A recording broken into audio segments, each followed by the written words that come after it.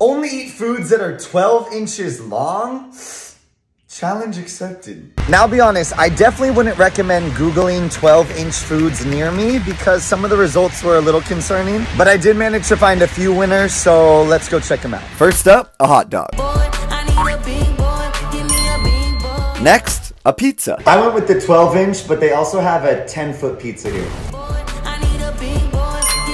Third is what should have been a classic, but I was robbed. Somebody call 911. I can't believe that they cheated me out of 12 inches. You betrayed me. To make up for it, I took matters into my own hands and made my own dessert. Now, the size matters here, so we gotta get it perfect. Big boy, I need a big boy. Give me a Today was definitely a big success, but think about it. Me not completing the challenge would be a long shot.